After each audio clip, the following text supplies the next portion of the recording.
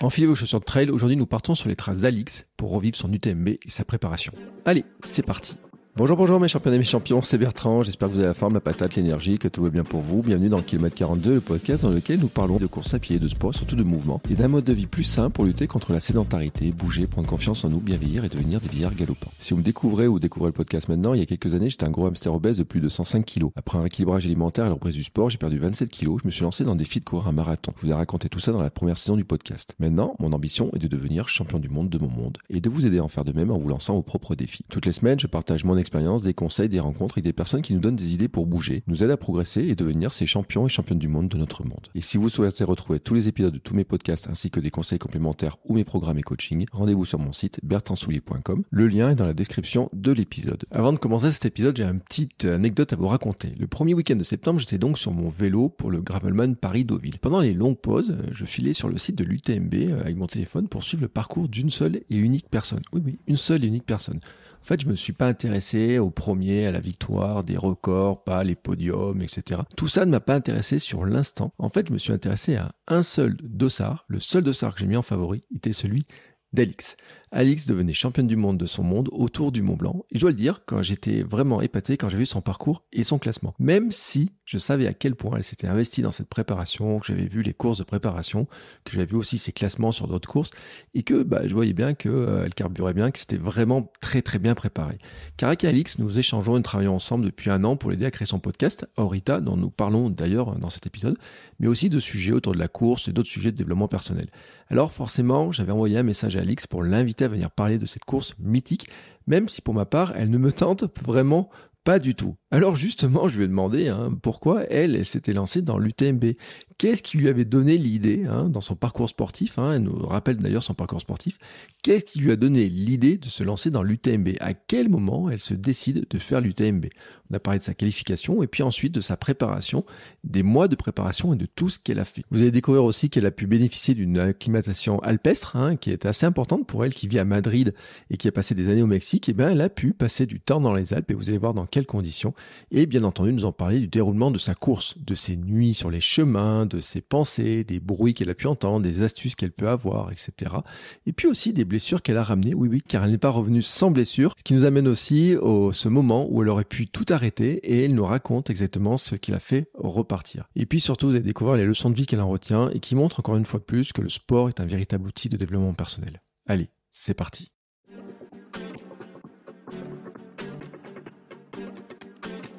Hola Alix. Hola Bertrand. Comment vas-tu? Eh ben ça va plutôt pas mal. Bah écoute, et t'as un grand sourire et tout. On dirait pas qu'il y a une semaine là, t'étais, euh...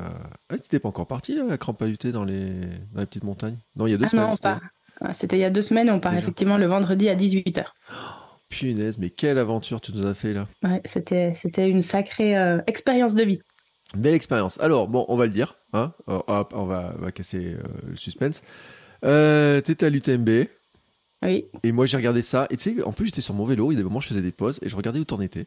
et je disais, mais, mais elle avance sacrément vite. Et puis, alors, que je voyais le classement et tout. Euh, punaise, sur le coup, je dis, oh, bah, que ça carbure. Hein. Ça, avait bien commencé et ça a un peu moins bien fini. Mais, euh, mais j'ai bouclé la boucle. Ouais. Euh, Enfin, moi, fini. Enfin, tu sais, de l'extérieur, c'est pas le sentiment qu'on a. Alors après, moi, j'ai vu les photos, t'as mis des photos et tout. On, on verra où t'en étais, où t'en es sur le plan mhm, physique. mais, mhm, mhm. euh, vu de l'extérieur, ça paraissait pas si mal la fin, quand même. Enfin, je sais pas. Non, bah, je te, je te raconterai un peu, mais en gros, euh, je vais essayer de, de, condenser ça. Mais en gros, euh, je suis partie avec un certain objectif, enfin, mm. sans vraiment m'y accrocher non plus, parce que c'était mon premier UTMB. Mon objectif vraiment du début, c'était de terminer avec un sourire aux lèvres. Donc c'était vraiment ça, passer la ligne d'arrivée avec un sourire aux lèvres. Mm.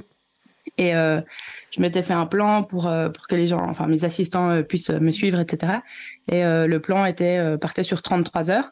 Et donc j'ai commencé à courir, etc. Je regardais pas trop la montre. Puis à un moment, il a bien fallu que je regarde la montre parce que mes assistants, fallait qu'ils arrivent à certains points à, à une certaine heure. Et bah, je me suis rendu compte que j'avais vite. Enfin, mais en fait, je me suis rendu compte que je, enfin, je me sentais très bien, mm. mais que en, allant très bien, euh, j'allais assez vite, enfin, plus vite que prévu. Et donc jusqu'au kilomètre 120, euh, euh, je volais. je me sentais super bien. Je connaissais pas mon classement. J'avais demandé à mes, à, ceux qui me suivaient, à ma famille, mes amis, de pas me dire mon classement. Et euh, bah voilà, en gros, enfin très très résumé au kilomètre 120, euh, enfin je suis arrivée pas bien du tout. J'avais, euh, je savais pas encore, mais j'avais un doigt cassé. Mmh. J'avais les deux genoux euh, qui marchaient plus. Euh, en gros, j'ai passé deux heures à l'infirmerie. Donc à ce moment-là, j'étais j'étais douzième féminine. Mmh. Et quand je suis ressortie de l'infirmerie, je sais pas combien j'étais. Enfin, j'avais perdu 100 places à peu près. et, et après, les, les 45 derniers kilomètres ont été assez difficile parce que j'ai fini en marchant, donc euh, j'étais pas très très fière de moi. Mais après, euh, après coup, en fait, chaque jour quand je j'y repense, là, je suis encore dans la phase d'assimilation. Je me dis euh, ouais, c'est pas mal en fait ce que tu as fait. Et j'ai terminé en moins de 33 heures, donc donc voilà. Et tu, alors, tu dis que tu as perdu des places, mais finalement, tu as quand même un bon classement. Enfin. Oui, bah alors effectivement, j'ai un bon classement. Euh, mais en fait, ce qui m'a déçu, je pense, et, et c'est peut-être l'ego qui a joué là-dedans, c'est que quand, quand j'étais euh, au kilomètre 120, quand je me sentais vraiment pas bien, j'étais à l'infirmerie et euh, bah, je me suis relevée, j'ai essayé de, de marcher, je pouvais plus marcher, etc. J'étais mmh. vraiment sur le point d'abandonner en fait, parce que à l'infirmerie, j'étais couchée, j'ai fait deux siestes de, de 20 minutes et je me suis dit bah c'est pas grave, je reste ici. J'étais même pas triste, j'étais même pas énervée, j'étais, je disais juste c'est là ma place quoi. C'est dans ce lit c'est dormir ici. Mmh. et euh, je m'étais dit bah c'est pas grave je serai d'INF sur euh, sur l'UTMB c'est pas mal quoi UTMB et donc euh, je me suis relevée et j'ai essayé de marcher je pouvais pas marcher. Et je leur dis bon bah allez dites-moi maintenant c'était quoi mon classement? Ils se regardent entre eux ils étaient là tu veux vraiment savoir? Je dis bah oui bah je vais abandonner dites-moi. Et ils me disent bah Alix t'es 12e féminine. Et je crois que j'étais genre 150 au total sur 2000 2500 coureurs et là, j'ai fait, c'est pas vrai. J'avais vraiment du mal à y croire, quoi. 12e féminine sur l'UTMB, jusqu'au kilomètre 120. Et là, euh, je regarde la montre, il était, je sais pas, j'avais fait, euh, je sais plus, euh, il me restait genre 24 heures pour boucler la boucle, parce que tu sais, la limite, c'est 46 heures. Et je dis, ben, il me reste 24 heures, j'ai 45 kilomètres à, courir, peut-être que j'y arrive. Et, et, et, voilà, donc je suis repartie. Mais donc oui, j'ai terminé, je sais plus, 250e, un truc comme ça. Donc j'ai perdu 100, euh, 150 places.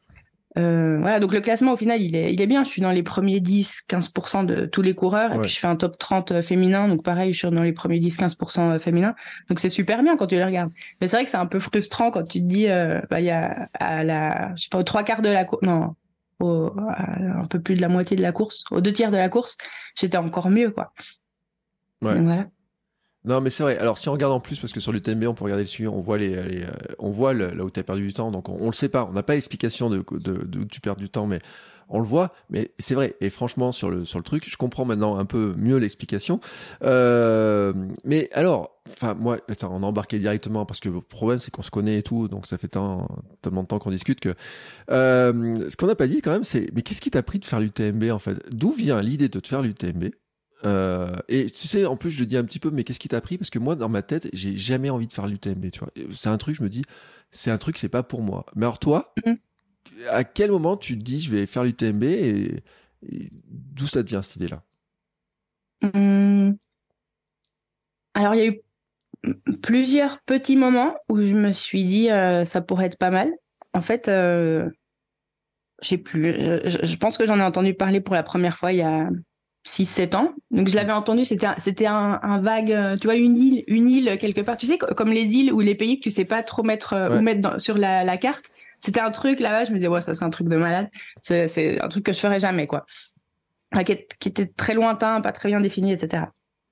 Ensuite, euh, il y a quatre ans, j'ai fait un trekking dans le Jura, donc c'était juste marcher, je m'arrêtais dans des refuges, etc.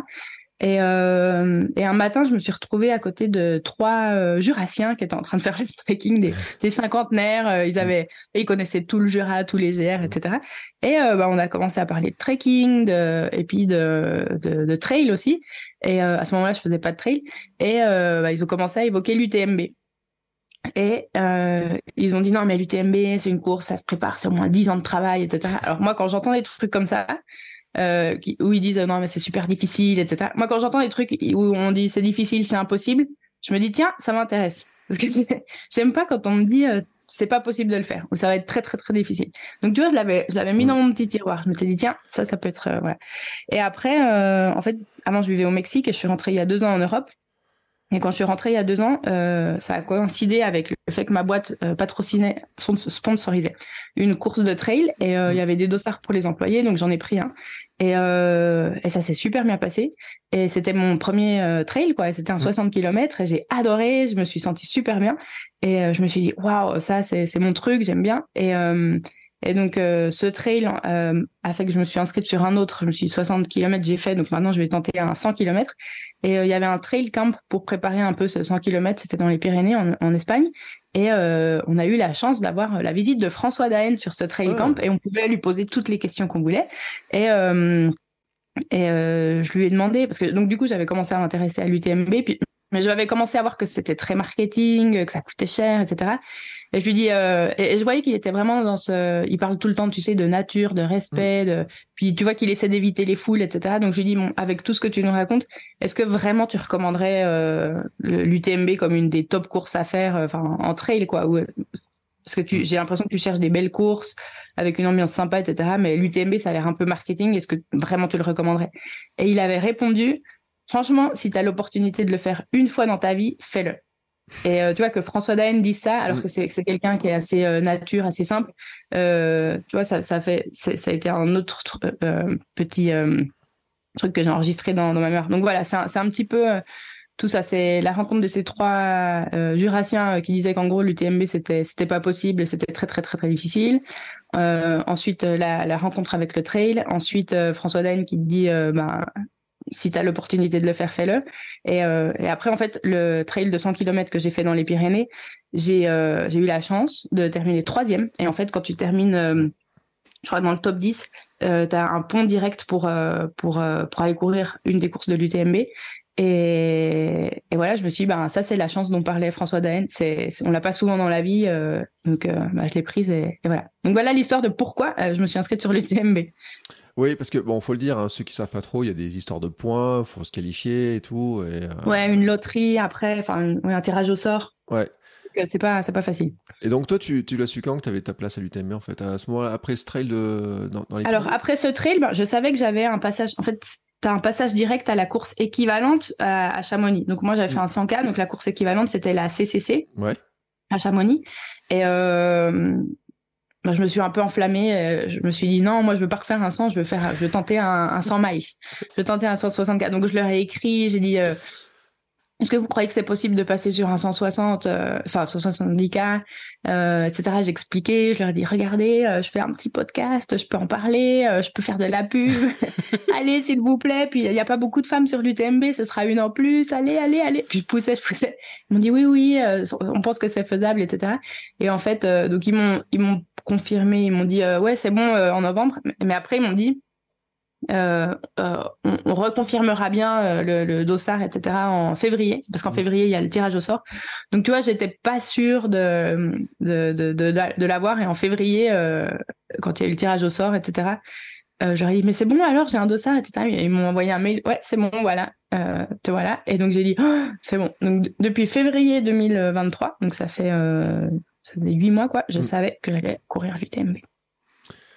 Et euh, alors, alors, bien sûr, on a envie de savoir comment ça s'est préparé, comment tout s'est passé, mais euh, pour ceux qui se posaient la question quand même, euh, parce qu'on n'a pas fait les présentations, donc tu as dit, tu as vécu au Mexique pendant pas mal d'années. 12 ans.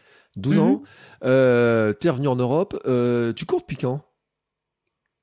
Bah, Je dirais depuis toujours, mais enfin, pas comme toi, pas tous les jours, mais tu vois, petite, euh, il y avait le cross du collège, donc euh, c'est des trucs que je faisais. Mon grand-père, il a fait, euh, il, était, il a été champion de cross junior en France. Euh, donc tu vois, c'est un mm. peu. Et puis je vivais, enfin moi je suis de la campagne du Jura, donc euh, tu vois, c'est pas des courses, mais on allait aux chevaux, on y allait en courant, mm. voilà. Donc c'était c'était un peu comme ça mon enfance. Ensuite, adolescence, j'ai fait un petit plusieurs sports, mais pas vraiment de course à pied. Euh, pendant mes études, je faisais genre la coureuse du dimanche, quoi. Je courais pour euh, pour faire un, pour dire que je faisais un sport le dimanche. Et euh, et au Mexique, j'ai été dans un groupe de course à pied quelques années. Et, et voilà, donc ça a été un petit peu, ça n'a jamais été super constant que mm. que, que, courir. Et, euh, et oui, quand j'ai fini mon époque au Mexique, euh, j'ai été dans un autre groupe de course à pied où j'ai fait, je suis arrivée à, à courir deux marathons. Donc voilà, donc depuis toujours, mais pas de façon super consistante tous les ans. Tiens, d'ailleurs, on parle de Mexique. Il y a un truc, j'ai vu une actu, et toi, peut-être, toi qui connais le Mexique, tu vas peut-être pouvoir nous expliquer ça. Euh, T'as vu qu'au marathon de Mexico, ils ont disqualifié 11 000 personnes qui avaient triché pour finir le marathon en trottinette, en voiture, en bus, etc. Et que chaque année, il y en a entre 3 et 6 000 qui trichent au marathon de, à Mexico. Alors, moi, je me dis quand même qu'il y a autant de gens qui fassent la course, qui disent, qui, qui trichent et qui disent à la fin, je suis marathonien. Je me dis, bon, je sais qu'à Paris, il y en a qui trichent.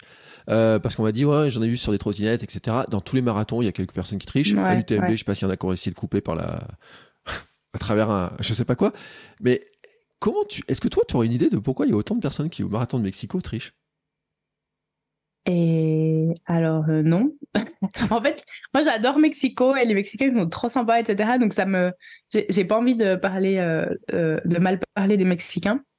Donc pourquoi Enfin, c'est vrai que c'est un énorme événement pour la ville et, euh, et puis un petit peu d'ego, tu vois. L'ego, mais euh, c'est une question de statut. Mais, je sais, oui, mais je sais pas pourquoi euh, il y en aurait plus à Mexico que dans d'autres villes. Ça me paraît énorme quand même. Bah, c'est ça qui est bizarre en fait. Tu vois, je me suis dit, mm. est-ce qu'il y a un statut? Est-ce qu'on te décerne une médaille spéciale quand tu fais le marathon de Mexico? Est-ce que Ah, alors c'est vrai qu'il y a eu dans les dernières années, ils ont fait un truc. en fait, il y a Mexico, donc c'est six lettres. Et mm. donc, chaque année, ta médaille, c'était un M, ensuite un E, ensuite un X, ah. ensuite un I. Donc, en gros, si tu faisais les six marathons d'affilée, tu avais ta, ta, médaille qui disait Mexico. Enfin, ah. C'est six médailles qui disaient Mexico. Donc peut-être que quelqu'un qui était pas très entraîné sur l'année du C, par exemple, il s'est dit allez, je prends une trottinette parce que je veux vraiment mon C. ah, ah, bah tu vois, bah alors ça c'est une raison qui me plairait, tu vois, parce que je me disais quand même il y a un truc. Puis chaque année, puis ils sont obligés d'en éliminer, mais alors cette année 11 000 quand même, j'ai trouvé que ça faisait beaucoup. Mais effectivement, peut-être qu'à force que chaque année il y en a certains qui n'arrivent pas à finir à s'entraîner, peut-être. Ah écoute, c'est une explication comme une autre. Je la prends. Moi, elle me plaît bien ton explication. Bon, allez.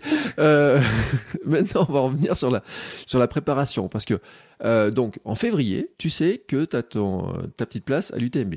Mm, mm. À partir de là, je me dis quand même, euh, il y a une espèce de grand truc là, c'est gigantesque. Tu dis maintenant, 1er septembre, je suis au départ. J'évangélise là, qui la musique d'Évangélise dans les oreilles. je dois partir. 170 bornes. combien 50, 60 heures pour finir Je sais plus comment t'as dit? 46h30. 46h30 pour finir. Comment tu envisages la préparation pour te dire, je vais être prête? Alors la bonne question, en fait, je me mets en mode euh, euh armé, quoi. Je me mm. dis, euh, t'as as huit mois devant toi, donc je prends mon calendrier, mm. je fais un petit, euh, j'entoure le 1er septembre, et je dis, là, il faut dérouler.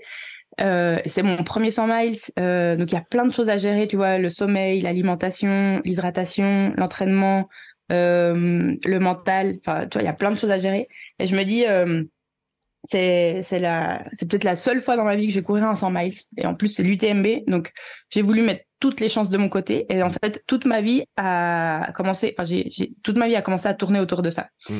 Et donc euh, l'autre truc c'est que je me suis dit si je le fais enfin moi quand je fais quelque chose j'y vais vraiment à fond. Et je me suis dit je vais pas euh, continuer mes petits entraînements comme ça à droite à gauche je vais euh, j'ai besoin de m'entourer de gens qui qui savent euh, y mm. faire. Et j'ai pas envie de genre lire un blog sur internet un mois qui va me dire euh, ne manger que des fruits le, le, le mois suivant euh, ne manger que de la viande etc donc euh, déjà j'ai j'ai voilà déjà l'entraînement physique je suis, enfin, j'étais déjà à Madrid dans un groupe de course à pied qui s'entraîne au Grand Parc, au, Central Park de, Madrid.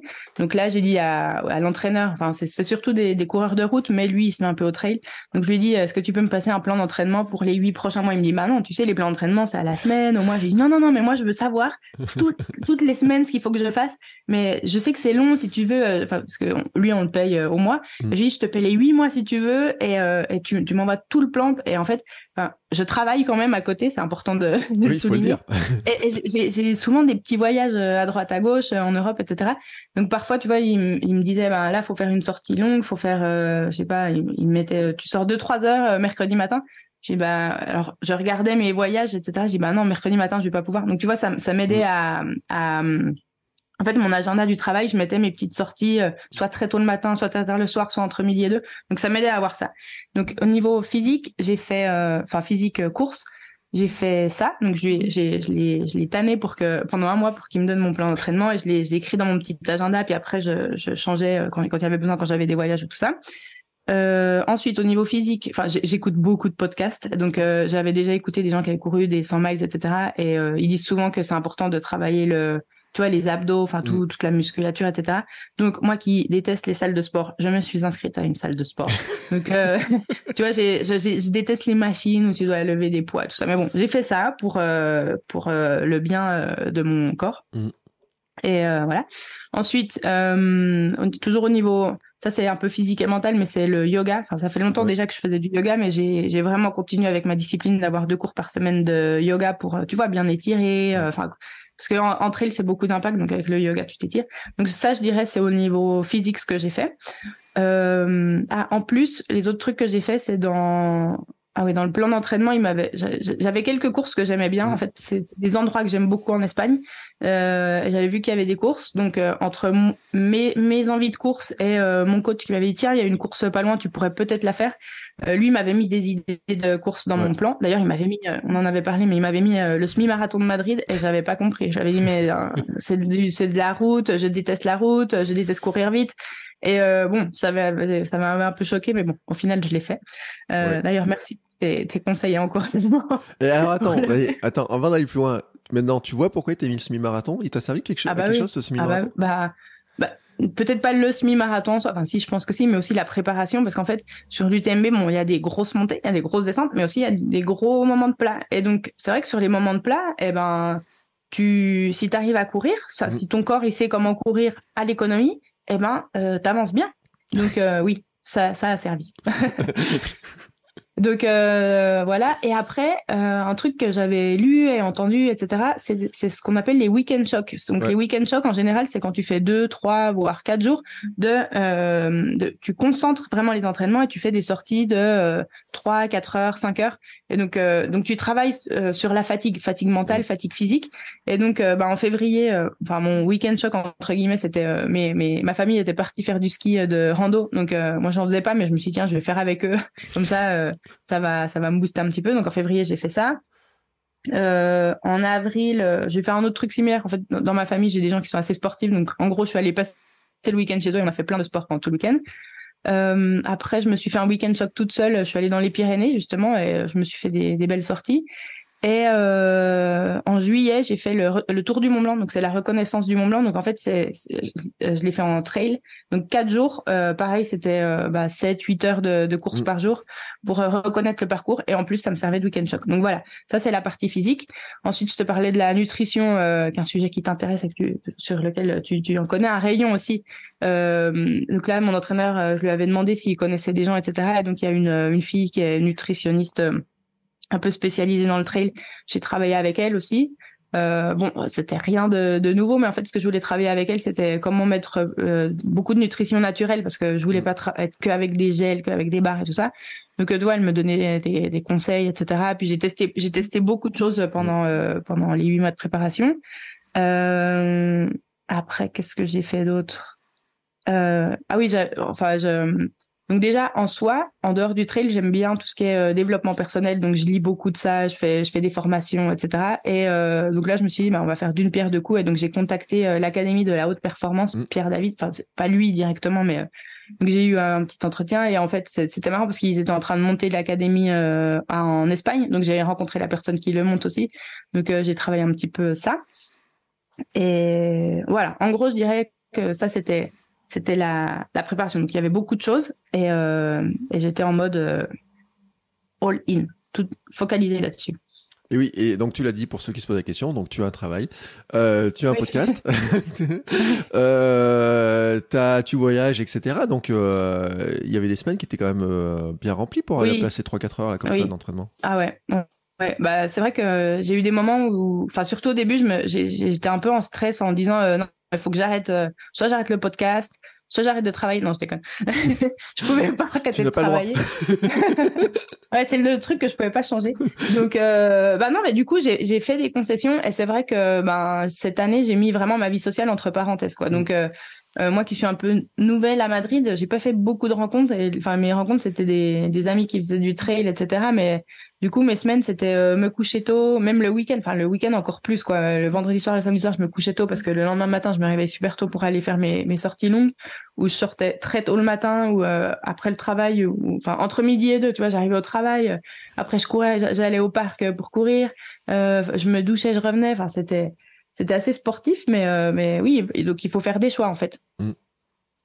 Mais euh, tes, euh, tes, collègues, tes amis, ta famille et tout, ils, t'ont vu comment là pendant ça Ils, ils t'ont dit des trucs Ils t'ont ils t'ont bah, pas, pas, vraiment parce qu'en fait c'est vraiment euh, tout est vraiment segmenté. mes collègues en fait, je suis dans des bureaux où tu changes toujours la place où tu es assise et ah. je travaille pas tous les jours avec les mêmes personnes.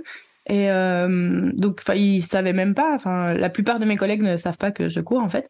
Euh, parce qu'ils sont un petit peu partout en Europe, etc. Donc on fait beaucoup de vidéos, mm. euh, calls, etc. Donc les collègues non.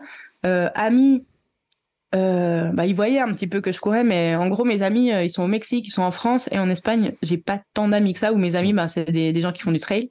Et ma famille, euh, bah, je vis en Espagne, ils vivent en France, donc euh, bah, encore une fois, ils voient de loin euh, ce que je fais. Et puis, bon bah voilà, du coup, on échange des petites photos le week-end. Ils disent ah c'est cool où t'étais, c'est joli la montagne, etc. Mais bon, au bout d'un moment, je pense qu'ils en avaient un peu marre. C'est toujours ah regardez la montagne, ah regardez. donc oui bien, mais, mais, bien sûr, ils étaient là, ils, me soutenaient bien. Non, parce qu'ils auraient pu être inquiets aussi en disant tiens mais elle est en train de se, qu'est-ce qu'elle va nous faire, monter sur des c'est une grande distance. Euh, en fait, je pense que personne, euh. même moi, je me rendais pas compte. Jusqu'au jour où j'ai demandé, euh, parce que vu que je n'avais pas d'amis, je me suis dit, mais qui va, qui va me faire mon assistance?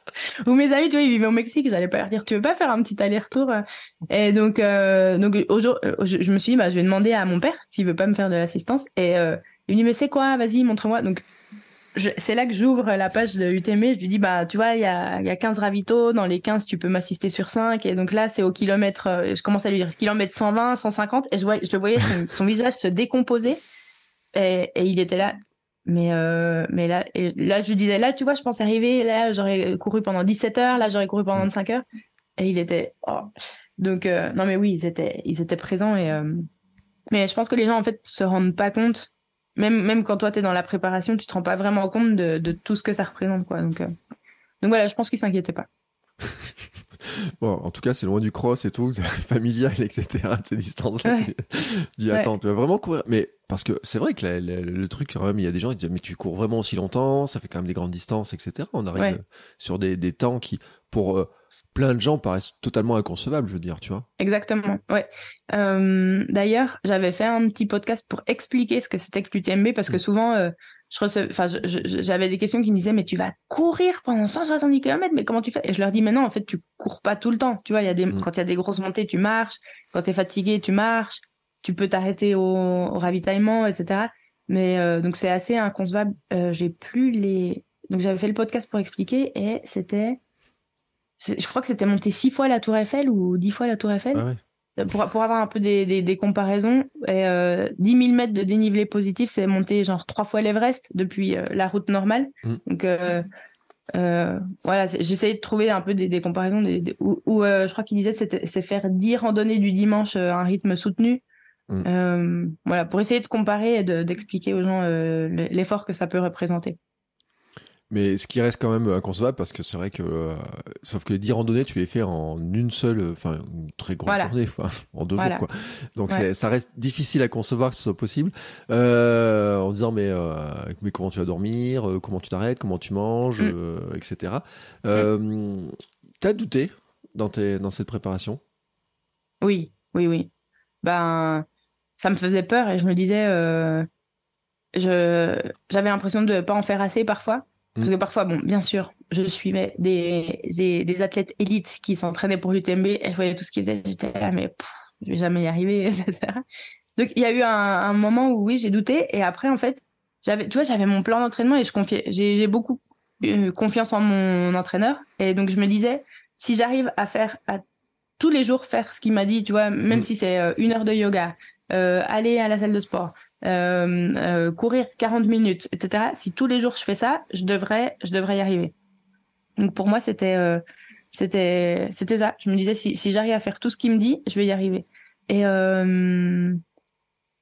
mais c'est pour ça aussi que j'avais, je m'étais, j'avais beaucoup douté autour du, du semi-marathon parce que je m'étais dit, alors est-ce que c'est lui qui est en train de, vriller et qui me demande de faire un truc parce qu'il aime bien faire du, de, la course sur route, etc.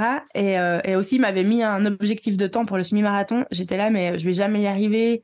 Et du coup, euh, si j'arrive pas à cet objectif de temps, ça veut dire que je vais pas arriver à l'UTMB. Ma tête, elle associait tout. De, si j'arrivais pas à faire le plan d'entraînement, c'était que j'allais, j'allais pas arriver à faire l'UTMB. Et donc, euh, c'est pour ça que ça m'avait beaucoup fait douter ce, ce semi-marathon. Au final, tout s'est bien passé. Ouais, puis t'as même fait un bon temps et tout, hein. enfin, dans mes souvenirs. Hein. Ouais, ouais, ouais. et, c'est marrant parce que quand tu dis est-ce que t'as douté, etc., en fait, plus l'échéance approchait, hmm. moins je doutais. Et il y a, genre, une semaine avant, il y, a plein de gens qui m'écrivaient alors, ça va, tu stresses pas trop, etc. En fait, je me sentais tellement sereine, je me disais, j'ai fait, j'ai fait le plan d'entraînement à la lettre, j'ai hmm. tout fait. Donc, il y a, enfin, mon corps là, ma tête, enfin, j'ai tout fait euh, pour y arriver. Si j'y arrive pas, c'est que eh ben, je suis pas prête, c'est pas mm. grave. Mais j'aurais tout fait. Je me serais donné vraiment tous les moyens d'y arriver. Je j'ai aucun regret en disant euh, bah non, j'aurais pas dû sortir euh, faire la fête ce week-end. Bah non, j'aurais pas dû euh, je sais pas me reposer deux semaines et, ne rien faire. J'ai jamais vraiment tout fait. Donc je me suis dit si avec ça j'y arrive pas, c'est que bah c'est pas grave. ouais. Puis t'étais sur tes petites montagnes en train de te balader et tout. T'étais bien là-haut. Voilà. Voilà. J'ai passé le mois d'août. C'est vrai que j'avais. Il y, a, eu un petit arrangement avec ma boîte. Au final, au début, je leur avais demandé euh, quelques mois sabbatiques. Ils m'avaient dit oui. Ensuite, ils m'ont dit non. Et donc ensuite, j'ai négocié de pouvoir travailler le mois d'août depuis euh, les Alpes. Et alors ça, ça, a été, ça a changé euh, ma vie mentale et physique. Et en fait, bah, je travaillais en journée, mais tu vois, depuis la fenêtre, je voyais le Mont Blanc, les montagnes, etc. Et quand je terminais, à 6-7 heures, je sortais et j'ai commencé à faire des sorties de nuit dans les, dans les montagnes. C'était magnifique. Donc ça, ça a été super chouette aussi. Oui, et puis c'est vrai qu'en plus, c'est intéressant de dire euh, des sorties de nuit dans les montagnes, etc. Euh, d'être en contact en montagne tous les jours et tout. Parce que, à Madrid, pour s'entraîner pour le trail, c'était pas le terrain idéal, quoi. Alors, il y a des montagnes, mais c'est vrai que le terrain, il est très différent à celui des Alpes. Donc, c'est beaucoup de pierres, c'est assez mm. sec. Et surtout, Madrid en été, t'es à 40-45 degrés, mm. quoi. Même le soir, quand tu sors, c'est, ou le matin très tôt, il fait très, très chaud. Donc, c'est aussi pour ça que j'avais demandé à ma boîte, j'avais dit, écoutez, j'ai un gros, gros euh, objectif euh, sportif. Est-ce que je peux travailler euh, depuis ailleurs? Donc, ça, franchement, ils ont été très sympas. Mais, mais du coup, vu qu'ils ont été moi, j'étais super règle aussi. Tout le mois d'août, j'ai dépoté au travail. Et euh, parce que je me disais, je suis vraiment reconnaissante de cette opportunité qu'ils me donnent. Et voilà, donc je travaillais bien et je m'entraînais bien. Ouais, mais ça t'a fait une acclimatation, quoi, en fait. Tu étais dans, dans, le bain, tu as, pu tester le décor de la nuit avec tout le matériel. Exactement, exactement. Mmh, ouais. Et bon, et donc comme ça, euh, alors s'il y a quand même une question, euh, parce que tu as parlé un petit peu de Ravito, comment ça s'est organisé et tout, donc tu as mhm. parlé que tu avais ton père et tout. Euh, tu avais combien de personnes? Vous étiez, Ils étaient trois, non, suivre là, Ils étaient trois. En fait, euh, c'est marrant parce que donc les trois, ils se connaissaient pas, ils s'étaient jamais vus avant. Donc il y avait mon père parce que je lui avais demandé, mais euh, c'est vrai que quand je lui avais demandé, j'ai vu qu'il se stressait parce que mm. alors déjà lui, il vit vraiment dans la campagne, donc il déteste quand il y a beaucoup de monde. Alors Chamonix, la semaine de l'UTMB, c'est horrible. je me disais mais comment il va faire, etc. Après, l'autre truc c'est que lui, bon, il vit à la campagne et son téléphone, c'est un téléphone vraiment basique. Il a pas de, mm. c'est pas un smartphone, c'est un phone. Mm. Et donc euh, il, il, a, il a pas d'application pour pouvoir me suivre. Donc je me disais comment il va faire, etc. Et en fait, mon donc la, la, la deuxième personne à laquelle j'ai demandé, c'est mon ami euh, Anthony. Donc lui, euh, c'est marrant, je l'avais rencontré sur le GR20. Et, euh, et il est super sportif. Il vit, il vit en France, à Orléans. Il, il est, il est beaucoup plus jeune que moi. Il est, il était encore étudiant quand je l'ai connu. Et, et bref, il, il a, enfin, en gros, on se voit pour faire des défis sportifs un peu de, de taré. Et euh, donc, il avait fait avec moi le, tour du Mont Blanc l'année dernière en mode trail. Il a refait cette année avec moi en mode trail. Et je lui ai dit, est-ce que tu veux, ça t'intéresserait d'être là pour, euh, pour faire l'assistance sur l'UTMB Donc, il a, il a signé tout de suite. Donc voilà, c'était le deuxième. Et après, j'ai une amie euh, ici à Madrid. Tu vois, j'ai des amis à Madrid qui est française aussi, qui a mon âge et qui fait du trail aussi, donc qui, qui, s'y connaît beaucoup, beaucoup en trail. Et, euh, et euh, je lui avais proposé, enfin, je lui ai demandé si, euh, si, elle aurait, si, elle aurait un petit peu de temps si elle, euh, pour, pour venir sur l'UTMB. Elle a dit oui aussi. Donc, du coup, je me suis retrouvée avec trois personnes. Mm. plus que de l'assistance, c'était vraiment le, support, le soutien. C'était un peu comme si ma famille était là. Enfin, il y a des gens qui viennent vraiment avec toute leur famille, leurs enfants et tout ça. Bon, moi, j'ai pas d'enfants, pas de mari. donc, c'était c'était ma, ma crew, quoi. C'était les, les, trois. Donc, voilà, j'avais trois personnes qui sont venues me soutenir. Mais alors, comment tu euh, as, préparé la. T'as pas d'expérience cette distance-là? Ouais. T'avais déjà eu de l'assistance sur d'autres euh, courses avant? Ouais, deux fois. Ouais, donc tu savais un peu, euh, t'avais un, tu, avais un petit peu d'expérience là-dessus, comment ce qu'il fallait prévoir, etc. Quoi. Mmh mmh bah, un petit peu, mais c'est surtout, en fait, là, ce qui a beaucoup servi, c'est Anne-Charlotte, mon amie, qui, qui s'y connaît beaucoup en trail. Donc, mmh. elle savait, enfin, elle sait comment est un ravito, elle sait, elle sait, euh, et puis elle est, elle est, maman aussi de trois enfants, donc elle sait préparer les trucs. Non, mais t'imagines même pas comment elle m'a aidé. Elle, elle, me faisait les petits sacs. Euh, parce qu'on disait alors qu'est-ce qu'il faut que je prenne euh, de, de, tel ravito à tel ravito? Donc on faisait la liste, elle me mettait tout dedans, elle écrivait sur les sacs et tout ça. Enfin, les, habits, la nourriture, l'hydratation. Donc elle, elle m'a vraiment aidé à, à, tout préparer. Et bah, entre elle et Anthony, ils ont, ils ont assuré. En gros, mon père, c'était un peu, le, un peu le... Moi, je disais que c'était un peu un corps, le E3. Donc, mon père, c'était le cœur, tu vois, la famille. Mm. Euh, Anne-Charlotte, c'était un peu le, cerveau. Et euh, Anthony, euh, qui, qui, court, etc., s'il fallait aller chercher un truc rapidement, etc., il, il courait, etc., sans problème. Donc euh, voilà, c'était euh, c'était mon, mon, corps qui, qui, me suivait.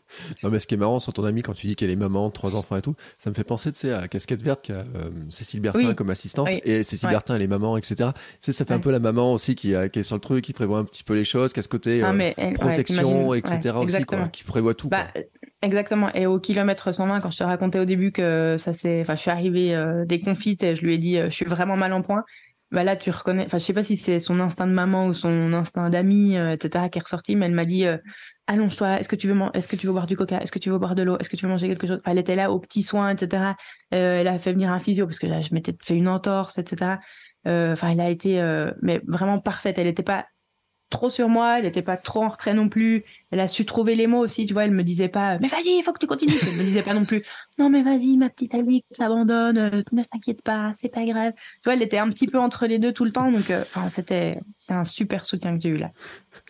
Euh, c'est drôle parce que c'est vrai que je pense que tout le monde a besoin de différents trucs et c'est vrai que trouver quelqu'un qui soit capable de t'accompagner vraiment précisément et tout. Je me rappelle l'an dernier autour de Mathieu Blanchard, il y a eu des débats sur sa, ah copine. Mm. Est-ce qu'elle a raison de lui gueuler dessus, de parler comme mm. ça et tout mais en fait, chacun est différent. Donc, trouver quelqu'un qui soit capable de te parler, c'est quand même pas si simple que ça, quoi.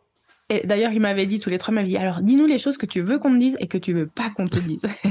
Donc, j'avais, j'avais dit, bon, bah, en gros, euh, ça oui, mais ça surtout pas, me dites surtout pas ça. Et moi, par exemple, je déteste qu'on me dise, euh, c'est bon, tu peux le faire. Euh, mm. vas-y, gagne encore trois places, c'est qui est devant toi, elle a deux minutes. Je déteste qu'on me dise ça, qu'on me mette la pression. donc, je leur avais dit tout ça, non.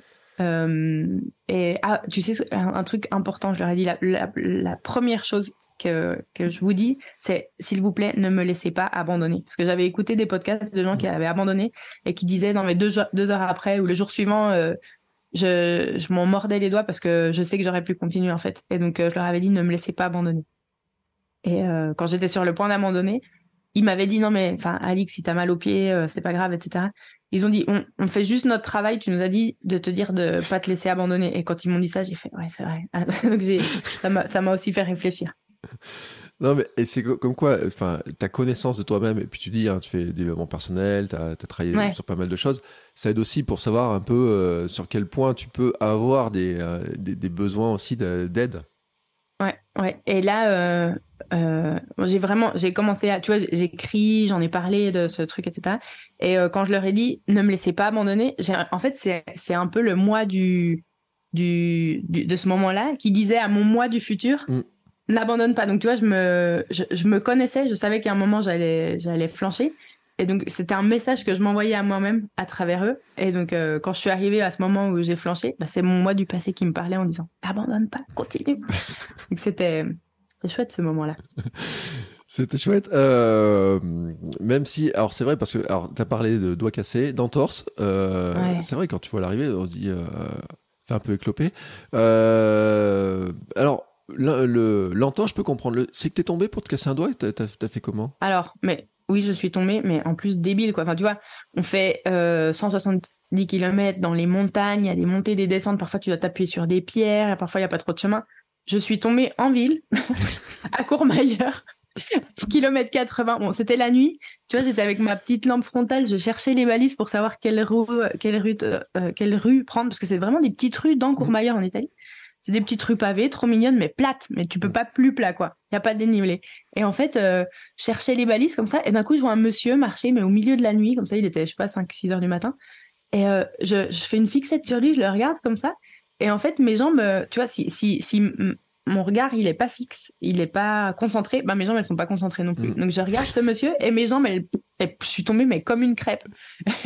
je me suis rétamée fais ok relève-toi donc je me relève etc tout va bien j'arrive au ravito et là je regarde mon doigt il avait triplé de volume le petit le petit doigt mhm. et je pouvais plus le plier j'étais oh mais bon fallait que je me change que je mange que je que je continue donc euh, je, en fait je me suis rendu compte de la de, que je m'étais cassé le doigt en rentrant à Madrid, je suis allée à l'hôpital, ils m'ont fait une radio, ils m'ont dit ah le doigt est cassé. Je dis ah c'est pour ça que j'avais mal. voilà, voilà comme je, ce qui s'est passé. Et puis le reste, l'entorse, franchement, je sais pas quand ça s'est passé. Je pense que c'est après le col ferré, il y a une grande descente qui fait 13-14 km. Et je pense que ça tape, ça tape, ça tape. Et il y a un moment, j'ai dû vriller euh, le pied, je sais pas. Euh, tu sais pas, mais en fait, euh, ça t'a pas empêché de finir, quoi. Bah, ils me l'ont quand même strappé. Euh, j'avais très mal et j'ai terminé, mais euh, au mental. Hein. Enfin, j'ai terminé. En fait, je, ne pouvais plus courir dans les 45 derniers kilomètres, alors que c'est un terrain que j'avais reconnu. Mm. Il y a des descentes que j'adorais, des, des, des, bons plats où tu peux bien courir. Et là, je pouvais rien dérouler. Donc, c'était, c'était vraiment très frustrant euh, pour moi. L'arrivée, tu la passes en marchant ou en courant? En courant. Ah. Parce que. en plus, je la passe avec avec mes trois mes trois assistants de cœur. Euh, au début, il me disait non, vas-y toute seule. J'ai dit non, non, non, non, non, c'est un, c'est un truc d'équipe. Ce qu'on est en train de faire, on y va. Donc en fait, je suis arrivée à Chamonix en marchant. Enfin, là, je me détestais. J'étais à mettre ridicule. T'arrives de l'UTMB en marchant, etc. Puis bon, les 200 derniers mètres, on se prend les quatre par la main, on passe la ligne d'arrivée et on se fait. Enfin, il y a la, petite vidéo. Mm. Tu vois, on arrive et puis on se fait un gros câlin euh, les quatre. C'était un moment assez émouvant. Tu, tu l'avais imaginé ce moment, euh, cette arrivée là, ou ou tu préfères pas l'imaginer Ah ouais, je l'ai visualisé. Non, je l'ai visualisé plein de fois, plein de fois, plein de fois.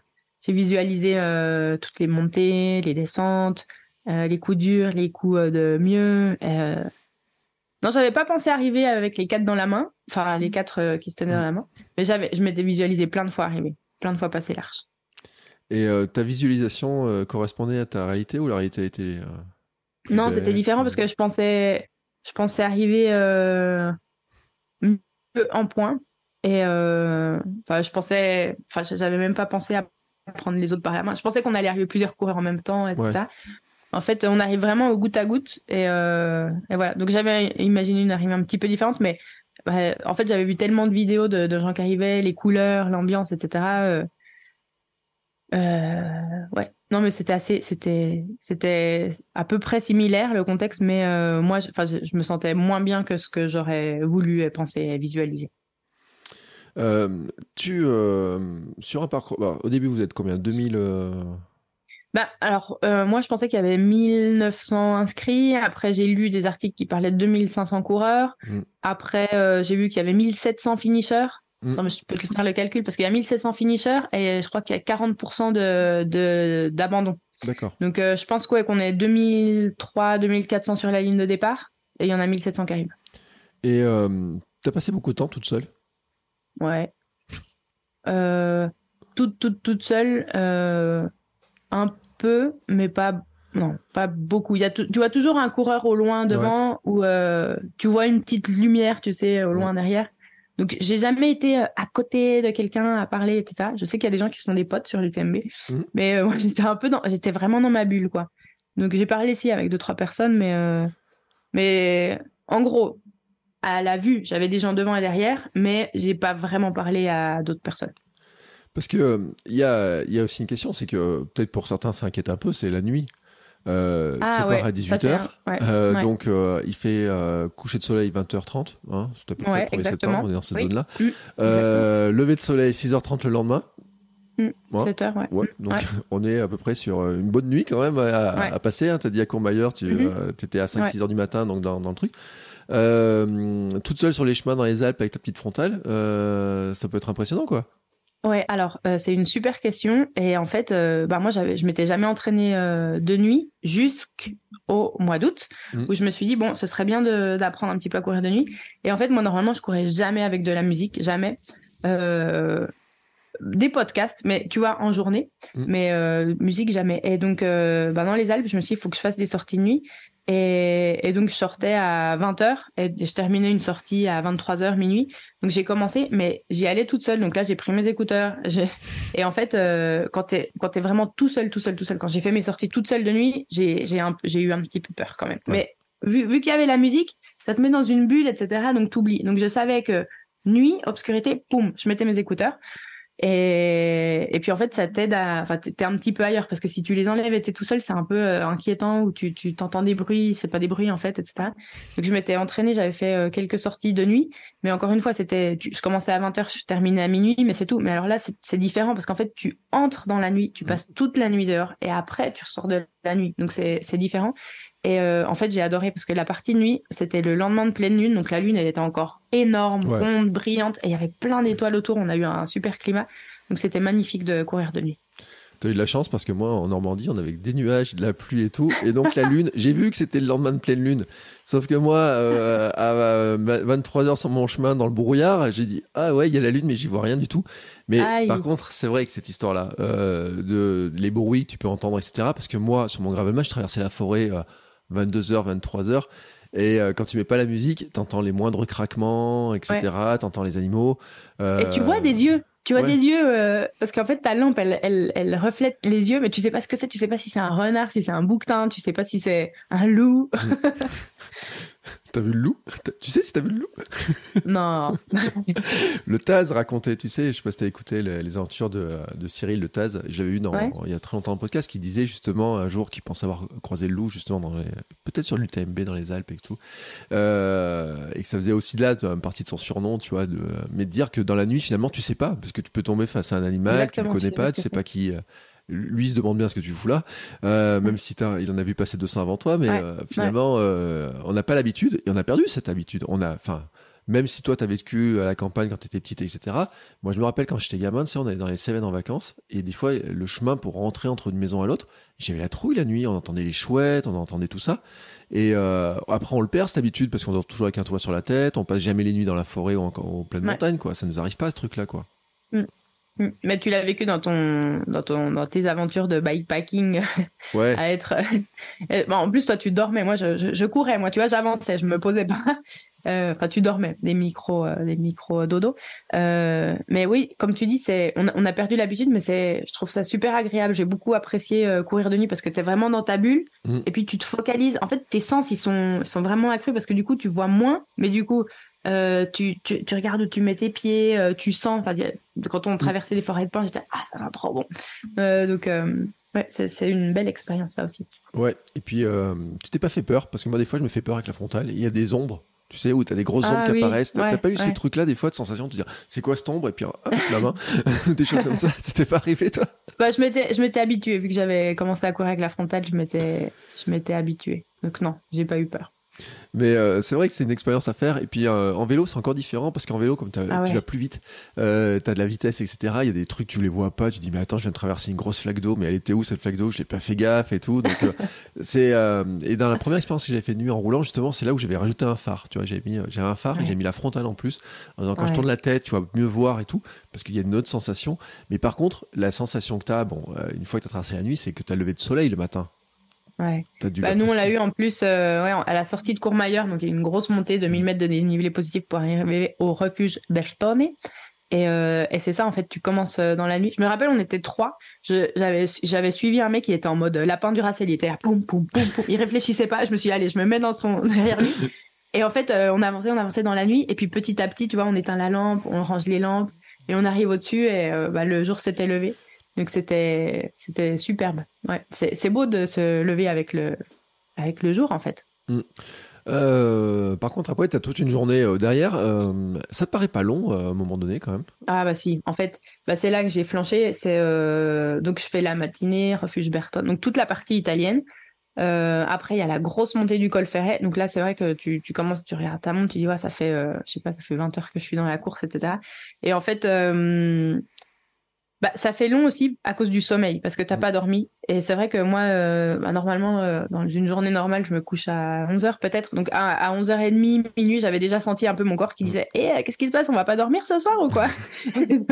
J'avais dit Mais non, t'inquiète. et, euh, et en fait, j'avais ressenti un peu le sommeil.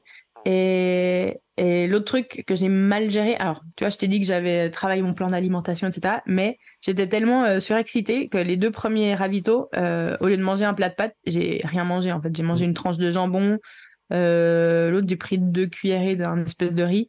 Et, et, voilà, alors que j'aurais dû plus manger. Donc pas pas pas sommeil, enfin pas dormi, plus euh, pas pas bien mangé, j'avais pas suffisamment d'énergie.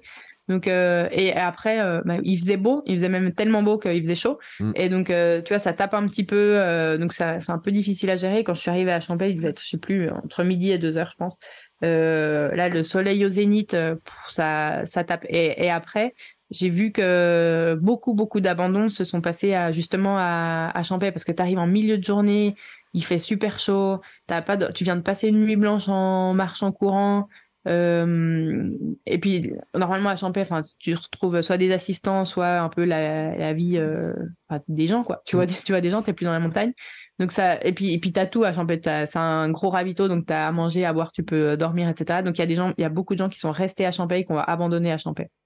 Donc euh, ouais, c'est c'est pas facile de de la, la journée qui suit la, la nuit blanche. Ouais, parce que ça se passe comment d'ailleurs, tiens, sur les ravitaux pour ceux qui se posent la question, parce qu'il y en a qui mhm. maintenant, tu vois, qui vont écouter l'épisode en se disant, bah tiens, je voudrais faire comme Alix. Euh, mhm. Les ravitaux, t'as des ravitaux, enfin l'organisation, ils, mettent des trucs à manger Oui. Alors, au total, il y a 15 ravitaux. Hmm. Euh, parmi les 15 ravitaux, il y en a 5 avec assistance. Donc, je vais parler des ravitaux sans assistance d'abord. Donc, c'est un ravito, euh, enfin, t'arrives, euh, donc il y a beaucoup, il y a beaucoup à manger, beaucoup à boire, mais en gros, moi j'ai toujours une flasque d'eau normal et une flasque d'eau avec des, des, isotoniques, tu vois, parce que mm. bah, pour euh, remettre euh, tout le sel que tu es en train de transpirer, des vitamines et tout ça. Donc je remplis l'eau et je remplis. Euh, eux, ils ont, c'est la marque NAC qu'ils ont en, en sponsor, qui qu'ils ont en sponsor. Et donc il y a des gros cubis de, de NAC déjà mélangés. Donc mm. tu mets ta petite gourde, tu remplis et voilà, t'es reparti. Donc ça c'est pour l'hydratation. Et au niveau alimentation, il y a des bacs en fait, des bacs de sucré et de salé. Et il y a, je me rappelle en Suisse, ils avaient des bacs de chocolat, mais il y avait plein de chocolat. Après il y a des, des fruits, donc euh, c'est souvent banane, euh, citron, orange, pastèque. Euh, il y a des bacs de petits bonbons, tu sais, un petit peu comme des haribots. Et après, dans le côté salé, tu as souvent du pain, du fromage, avec plusieurs sortes de fromage, plusieurs sortes de jambon. En plus, tu sais, tu traverses la Suisse et l'Italie, donc t'imagines que qu'il y a des bons produits, quoi. Donc en gros, c'est ça. Ah, il y a du bouillon aussi, du bouillon chaud, tu vois, parce que ça, ça donne un truc salé. Et voilà, donc en gros, enfin, t'arrives. Euh, si tu veux passer super vite, eh ben, tu prends rien, mais en général, tu prends au moins l'hydratation. Et, euh, et puis tu peux manger. Moi, j'avais toujours sur moi euh, mon, mon, alimentation que j'avais préparée, donc des petites barres, pâtes d'amandes, pâtes de fruits, quelques gels. Et en plus, quand j'allais au ravito, je prenais un petit bout de, de fromage, ou enfin ce, que, ce dont j'avais envie. Mm. Voilà, donc ça, c'est les ravitaux sans assistance, c'est toi qui te sers tout. Et après, il y a les ravitaux avec assistance. Et donc là, les assistants, enfin, tu as le droit à un assistant sur les ravitaux pour pas avoir trop de monde. Et euh, cet assistant a le droit d'arriver euh, euh, 10 minutes avant ton arrivée. Donc il faut vraiment qu'il regarde l'application, etc. Donc il peut pas, il peut pas genre se poser puis t'attendre pendant une heure. Non, il a le droit d'entrer 10 minutes avant. Donc il arrive euh, et ben nous comme on s'était organisé, euh, il me mettait genre un t-shirt de rechange si je voulais me changer, un short de rechange, un un bœuf, tu sais. Mm. Euh, mettait deux trois trucs comme ça pour si je voulais me changer ou euh, j'avais une deuxième paire de chaussures pour si je m'étais vraiment mouillé les pieds euh, dans une flaque ou quoi. Donc il y avait les habits et après il y avait, euh, ils me préparaient eux une une flasque d'eau pleine et une flasque de isotonique pleine pour que je leur donne mes, mes gourdes vides, je reprenne mm. les gourdes pleines. Et ils me préparaient plusieurs trucs à manger sur la table. Donc, euh, ben, ils savaient jamais si j'allais avoir envie de sucré, de salé, donc ils me mettaient un petit peu de tout. Et, et voilà, en gros, c'était ça l'assistance. En fait, l'assistance, ça te permet de gagner du temps, que si c'est un support psychologique euh, super, parce que tu peux t'asseoir un petit coup avec eux, tu peux parler un petit coup avec eux. Euh, ils peuvent t'aider, je sais pas, à changer la batterie de ta lampe. Euh, mm. Ça, c'est un gain de temps et de et puis tu tu dois pas trop réfléchir à est-ce que je vais manger ça, est-ce qu'il y aura ça. Donc c'est comme ça que ça se passe les ravitaux. Mais tu pourrais le faire sans assistance, tu penses? Ah ouais, complètement. Ouais, ouais. Je pense, je sais pas combien il y a de gens qui le font sans assistance, mais en fait, donc les ravitaux, euh, les ravi les gros ravitaux comme ça, si tu le fais sans assistance, je crois que tu as deux points. Je sais pas si c'est un ou deux points où tu, as tu peux laisser un sac de délestage. Donc, mmh. c'est-à-dire que euh, tu le laisses à Chamonix. Donc, c'est un gros sac où tu mets, euh, je sais pas, une deuxième paire de chaussures, euh, une deuxième paire de chaussettes, euh, un autre t-shirt, un autre buff. tu mets tout, ce que tu veux dans ton sac. Je crois que c'est maximum 30 litres. C'est les sacs de l'organisation. Et en fait, quand tu arrives à Courmayeur, y a, tu vois tous les sacs qui sont alignés, rangés par ordre de, de dossard. Et si t'as pas d'assistance, tu arrives, tu prends ton sac, tu te changes, tu manges, tu mmh. fais ce que tu veux, tu remets ton sac et tu repars. Donc, euh, voilà, tu peux très bien le faire sans assistance. D'ailleurs, il y a beaucoup de débats euh, là-dessus qui disent euh, pourquoi on fait pas des trails sans aucune assistance pour que vraiment tous les trailers soient égaux devant l'épreuve. Parce que les élites, en général, c'est vrai qu'ils ont l'assistance qui est super rodée, c'est un peu des pit stops, etc. Mm. D'ailleurs, il y a eu un débat cette année, je sais pas si tu as vu, sur le, ils ont chronométré pourquoi les hommes vont plus vite que les femmes sur les assistances, pourquoi il y a des femmes qui ont beaucoup plus vite que d'autres. Pourquoi Alors, je sais pas, après, c'est des stratégies. Hein. Euh, je sais pas si toi, tu as eu le sentiment de prendre ton temps, si tu as eu le sentiment de comment bah, En fait, les, les, les, deux premiers, j'ai pas du tout pris mon temps. Même mes, mes assistants, ils m'ont dit après, mais ils m'ont dit, Alix, mais tu t'es arrêté 2 minutes 37, t'as changé de t-shirt, t'as changé de t'as pas mangé. C'était, c'était pas bien. Et après, les trois derniers, je peux te dire, je suis allée prendre du pain, je me fais ma petite tartine avec du fromage. J'ai dit, tiens, j'en reprendrais bien un autre. Est-ce que j'ai vraiment pris mon temps sur les trois derniers. Euh, et, voilà, donc chacun, chacun sa stratégie, ouais. Mais c'est vrai que l'an dernier, on revient sur Mathieu Blanchard, mais qui a eu une stratégie qui avait fait beaucoup parler. On avait dit, mettez même la pression sur les adversaires et tout. Là, ils ont fait des calculs. On a vu que c'était encore accéléré. Euh, après, bon, Courtney de Walter euh, est pas très loin des temps des hommes, hein, quand même. Hein. Elle est allée assez vite sur ces trucs. Après, il y a des femmes qui ont mis plus de temps. mais c'est vrai que c'était, il y a des stratégies, tu dis, hein, chez les, chez les élites. il, y a, mm. il y a vraiment des calculs. Tu les as vus, les élites, d'ailleurs? Tu les as, T'en as croisé Ou pas du tout? Enfin, ils partent comme des flèches et puis tu les revois plus. Bah ouais, euh. c'est ça, ils partent comme des flèches, tu les vois pas. Non. Bah, je sais pas, enfin, j'ai eu deux, trois femmes euh, qui sont considérées comme élites. Donc, j'ai eu euh, Claire Banoir, tu sais, celle qui fait des 200 miles. Ouais. Ah et eh ben, elle était, il y a un moment, elle était avec Élise Delannoy, donc c'est une autre française qui est une super traileuse. Je pense que, enfin, je pense qu'aucune des deux n'est 100% pro, mais tu vois, elles sont élites, elles sont sponsorisées, elles font plein de courses. Donc à un moment, je me souviens, elles étaient derrière moi, elles papotaient. Euh, J'entendais deux femmes papoter, je me retournais, j'étais mais c'est elle. Donc euh, ouais, j'ai eu euh, ces deux-là et une. Euh, donc je crois qu'Élise, elle l'a pas terminé l'UTMB. Il y a eu une, une, autre, une Suissesse qui est qui est élite aussi, et Claire, elle l'a terminé. Et on s'est doublé plusieurs fois avec Claire. Mm. Et après, elle a elle a fait euh, je crois, je crois qu'elle a fait en dessous de 30 heures cette année. Ouais, bon, Claire, après, qu'il y, a des, victoires sur des courses qui sont beaucoup plus longues. Et j'aimerais dire, c'est presque, euh, c'est presque court par rapport à des trucs qu'elle a pu faire, parce qu'elle a fait des distances qui sont tellement plus longues à comparer. Euh, parce que d'ailleurs, pour. d'ailleurs, tiens, je viens de chercher, c'est elle qui retient le record de France du 24 heures. 228 bornes en 24 heures. Tu vois, c'est.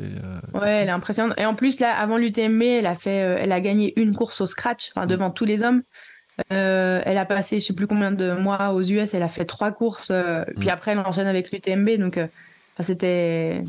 Moi, tu vois, je me suis entraînée toute l'année pour l'UTMB. Elle, c'est une des dizaines de courses de, de 100 miles qu'elle fait dans l'année, quoi. Ouais, non, mais c'est vrai qu'elle a un profil intérieur impressionnant, parce que c'est vrai que tu dis hein, sur des courses, plus la course s'allonge et plus, et ça c'est un constat chez les femmes, plus la course s'allonge et plus les femmes euh, ont des chances de gagner, euh, avec des, des, sacrés classements. Et elle, elle l'a mm. prouvé d'ailleurs, elle l'a prouvé sur, sur certaines courses.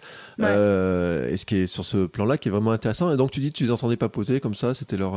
Ouais, je les entendais papoter. d'ailleurs, j'espère qu'elle m'en voudra pas, mais il y a un moment on était, je sais plus, c'était, je pensais qu'on, je pense qu'on arrivait au col du bonhomme, etc. Et puis, enfin, j'entendais qu'elle parlait, et euh, d'un coup, je, l'entends accélérer, et moi, enfin, en général, vraiment, je, me décale, je dis vas-y passe, euh, ou même quand il y a une descente, je sais que je vais pas vite en descendre, donc je dis je sais que je vais pas vite, vas-y passe. Et donc là, j'ai même pas eu le temps de, le temps de me décaler, et j'entends boum, et, et c'était elle qui était tombée.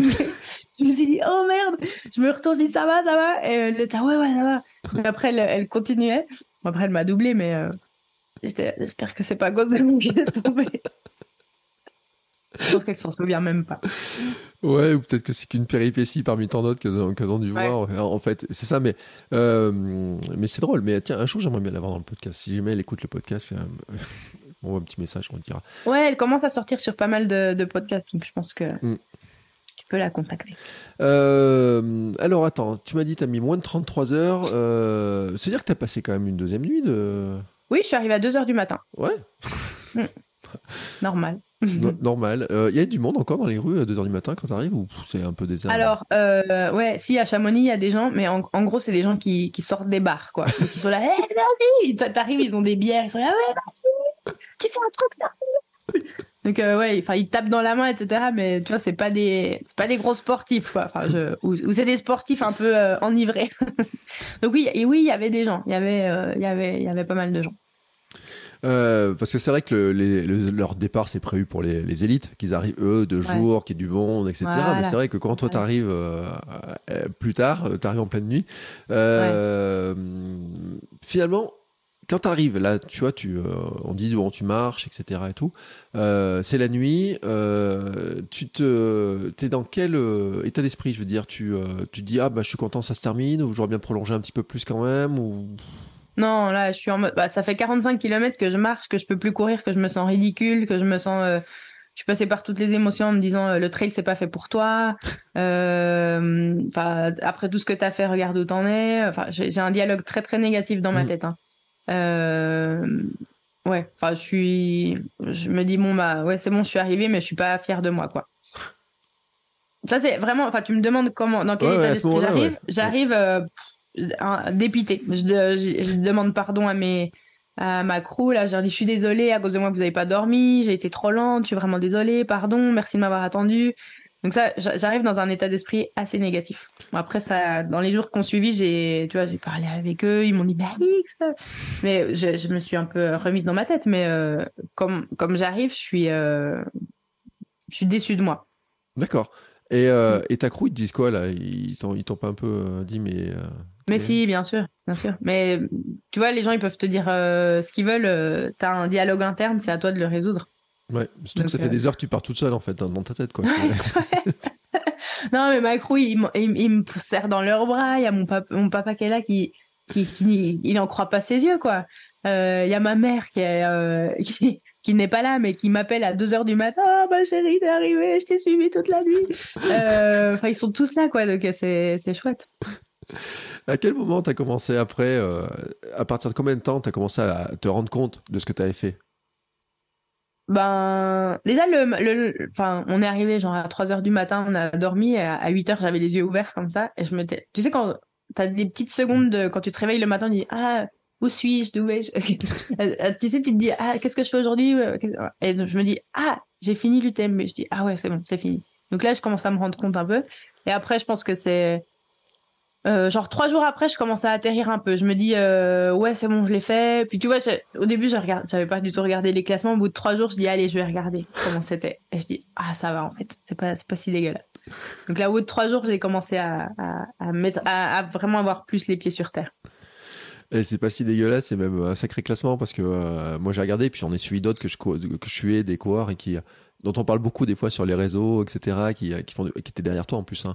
Euh, mm. Donc euh, c'est pas, euh, c'est c'est un sacré classement. Euh. Je me dis quand même, tu vois, là ça fait 15 jours que c'est passé. T'es dans quel état d'esprit maintenant? Parce que tu dis bon, j'ai je fais l'UTMB. Euh, t'as commencé, t'avais commencé à réfléchir à la suite ou tu t'es dit non, je pense pas à la suite ou tu commences à y penser? Enfin. Euh, alors, euh, quand j'ai terminé, vraiment le lendemain, il y a des gens qui m'écrivaient, ils me disaient alors, c'est quoi ta prochaine course? Tu refais l'année prochaine? Tu vas sur la Diag, etc. J'étais là, ah non mais arrêtez, arrêtez de me parler de ça. Euh, et puis hier, je suis retournée, je suis à Madrid, donc je suis retournée avec mon groupe de course à pied. Donc ça faisait, bah, ça faisait depuis le début de l'été que je les avais pas vus, donc je suis arrivée, ils ils étaient trop contents, ça m'a fait plaisir de les voir. Et, et on a commencé, ils m'ont demandé de partager mon expérience, donc tu vois, on courait, je leur en parlais, etc. Et en fait, je me suis rendu compte que je serais au taquet pour re-signer l'année prochaine, quoi. Alors, tu vois, tu vois tout ce que je t'ai raconté, le dialogue négatif dans ma tête, les douleurs, etc. Et là, je me dis, j'aimerais bien le refaire l'année prochaine, mais le refaire euh, bien. Donc, euh, moi, je sais pas si je le ferai ou quoi, mais euh, mais euh, voilà, c'est un truc auquel je pense. Et là, euh, en fait, je m'étais déjà prévu un truc après l'UTM justement pour avoir un projet parce que tu sais, c'est un peu comme euh, ce qu'on appelle le baby blues. T'as ton bébé qui naît, après c'est oh, qu'est-ce qui suit comme projet? je m'étais dit qu'est-ce que je peux faire après? Et là, je vais faire justement, je vais marcher sur le chemin de Compostelle. Donc, c'est 300 km avec 9000 des plus. Donc c'est Ouais, c'est deux, à peu près deux fois la distance de l'UTMB, mais je, je, vais le faire en 13 jours. Donc, tu vois, je vais en plus, j'y vais avec mon père. Donc, c'est un petit peu un, projet euh, complètement différent. Mm. Donc pas du tout en mode trail, mais c'est un autre projet. Et puis, bah, peut-être un autre 100 miles où je me dis, sinon, le 100 miles, je suis peut-être allé trop vite, donc me mettre un petit 100 km dans les prochains six mois, ça pourrait être pas mal. Voilà. Ah ouais.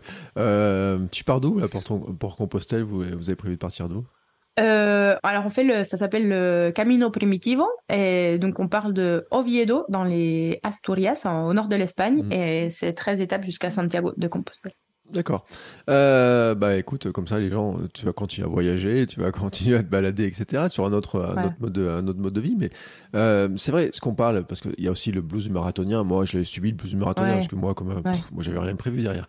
Euh, mais là, c'est vrai, tu as dit à quel point ça t'a occupé pendant huit mois cette histoire-là, mm. euh, mm. et même finalement plus parce que quand tu commences à avoir l'idée, tu commences à, négocier avec eux, enfin voilà, ça fait mm. plus d'un mm, an mm. que finalement tu es dans ce truc là et tout. C'est vrai que d'un coup euh, c'était rien, le vide, le nombre d'heures parce que enfin, est-ce que tu as calculé un truc du style le nombre d'heures que tu as passé par semaine sur l'UTMB ou le nombre de kilométrages euh, kilomètres que tu as fait en entraînement, des choses comme ça, tu ou t'as pas regardé? Non, je regarde pas. Je sais qu'il y a plein de gens qui me demandent, mais euh, franchement, je sais pas. Mais je crois que. attends, je dois être. Je, je fais pas tant de kilomètres que ça. Je faisais, je sais pas, 80, 90 kilomètres par semaine, je mm. pense. Euh, avec du dénivelé. Parce que souvent, euh, les gens me disent, mais c'est rien, 80. Oui, mais 80 avec du dénivelé, c'est autre chose. Et puis en, en heure, euh, je pense que, mais ce que j'avais regardé, c'est comment comment je mm. j'utilisais mon temps, euh, dormir, euh, manger, etc. Et le sport, ça me prenait un sacré, ça me prenait genre 15% de, de mon temps euh, de, de, de semaine, quoi. Donc c'est c'est pas mal. C'était en moyenne, je pense, deux heures par jour. Mm. Oui, 15% du temps, si on fait un calcul, ça fait quand même un bon paquet d'heures. Euh, Et c'est vrai que d'un coup, le fameux blues, il vient parce qu'il y a une espèce de grand vide en disant bah, plus besoin de courir. Mais là, j'aime bien la rentrée en fait parce que tu sais, tu, tu regardes, tu, tu, regardes les ponts qui arrivent en novembre, après les ponts de décembre, etc. Et tu, tu peux te projeter un petit peu. Et, euh, et ce qui est bien, enfin moi normalement j'aime pas, j'aime pas les courses pour avoir des, pour être faire de la compète, j'aime pas la compète. Mais ce que j'aime bien, c'est que ça te donne des, micro-objectifs mm. de t'inscrire à une course. Et surtout, si tu t'inscris avec des amis à toi, euh, enfin, tu vois, avec le groupe de course à pied, il me parle de, de course euh, ici autour de Madrid c'est sympa parce que c'est super local, ambiance familiale. Donc, euh, tu vois, si je me mets à deux, trois courses comme ça d'ici la fin de l'année, c'est, c'est, ça remet dans le bain et euh, ça donne une nouvelle dynamique. Ouais. Mais euh, donc, il y a des gens qui t'ont demandé si tu voulais faire diagonale, des fous, des trucs comme ça. C'est un truc que tu avais en tête, que tu aurais en tête, ça? Ben, je sais pas. Parce que là, c'est, autre chose, quoi. C'est dans, il fait vraiment chaud, c'est très loin, faut prendre un avion. Et puis c'est sans bâton. Donc c'est, difficile, quoi. Mais il paraît que c'est très joli. Moi, je cherche des courses euh, jolies tout le temps. Et euh, je me dis, ben, pourquoi pas. Même si j'aime bien quand même les courses où il n'y a pas tant de coureurs, où il n'y a pas tant de, de, de, de, médias et tout ça. Mm. Donc euh, je dis peut-être, peut-être. Et si tu repenses à la phrase de François Daen qui t'a dit si tu as l'occasion de le faire un jour, faut vraiment le faire, c'est ce que tu dirais toi aussi? Ouais, ouais, ouais. ouais. C'est un truc de fou, l'ambiance. Euh, ben, je me souviens une montée, euh, c'est euh, après les contamines, le, après Notre-Dame de la Gorge. T'es comme dans le Tour de France, en fait, t'avances et t'as as des gens, tu vois, ils voient ton dossard et en mm. plus t'es en France, t'es une femme en France et, et je pense qu'il y a 15-20% de coureurs qui sont français, le reste c'est les, les, supporters ou les, le public qui peut même pas prononcer leur nom, tu sais, quand c'est des asiatiques, ils ont des noms un peu bizarres pour nous. Donc ils peuvent aller, allez, euh, Tony. Non, alors ils étaient là, vas-y, allez, allez. tu sais, t'es dans la montée, c'est de nuit, ils sont avec des, des cloches, euh, leurs lampes, ils sont, mais tu, tu les entends, ils sont vraiment tout, tout près de tes oreilles. Il faut une petite allée, puis tu, tu passes entre eux comme mm. ça. C'est, euh, c'est, c'est, c'est, c'est galvanisant, c'est plein d'émotions. Euh, c'est, ouais, c'est vraiment un, un événement, quoi. Ouais. C'est pas juste une course. Alors c'est drôle que toi tu vois ça comme ça parce que les coureurs pro eux, ils ont fait un espèce de communiqué en disant que il y avait trop de monde sur les chemins, l'ambiance, les encouragements, etc., que ça pouvait abîmer la nature. Je sais pas si t'as vu ce genre de truc. Euh, mais c'est vrai qu'il y avait une grosse ambiance. En plus, il y avait les supporters de Courtenay qui avaient dit on va faire sonner les cloches. Il y avait des vraiment. Et on voit qu'il y a une ambiance. Moi, j'ai vu des vidéos. C'est vrai que le, quand tu parles de comparaison Tour de France, c'est impressionnant parce que finalement, c'est sur des chemins. Euh, il y, a, vraiment beaucoup de monde. Hein. Chamonix, euh, à ce moment-là, il y a vraiment énormément de monde qui est, qui est là pour ça, quoi. Ouais, c'est vrai. bah c'est l'UTMB quoi. Mais c'est vrai que l'organisation ils envoient toujours des mails en disant essayez de prendre plus les bus, de prendre les transports en commun. Euh, ils essaient toujours de donner des alternatives un peu plus euh respectueuses pour la nature. Il y a vraiment, tu sens qu'il y a un, effort de, de leur part pour sensibiliser autour de ça. Est-ce que maintenant, tu dis, tu vois, j'y retournerai peut-être, etc. Enfin, tout. Mais est-ce que déjà, tu vois, tu as été capable de dire, tiens, y a, je changerai tel ou tel truc? Ah oui, oui, oui. tu, tu vois ça déjà là tu... Euh ah, clairement, ben, je mangerais mieux, plus mmh. euh, dans mes ravitoiements. Euh, après, j'ai eu tellement mal aux genoux. Là, je me dis, il faut que je, je sais pas, que je me mette au vélo, euh, que je fasse des trucs comme ça pour, euh, pour souffrir moins des genoux sur le jour J. ça, c'est les deux choses que, que je dirais. Et, peut-être aller un peu plus lentement au début pour, ouais, pour, pour plus me réserver pour après. Mais c'est surtout l'alimentation et, euh, et, voir ce que je fais avec mes genoux. Et je pense que la solution va de pair avec le me mettre au vélo, comme toi. bon après, et si tu te mets au vélo, t'as des belles aventures aussi, si tu veux.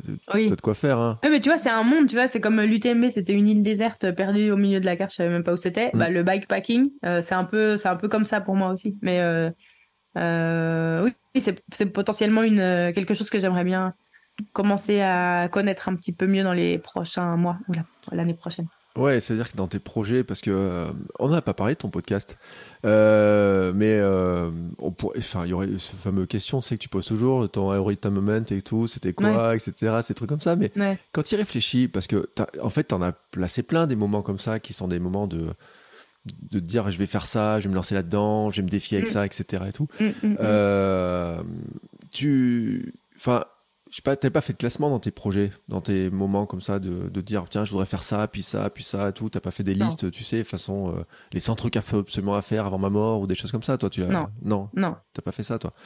Euh, mais euh, tu, tu te dire par rapport à d'autres trucs que t'avais fait.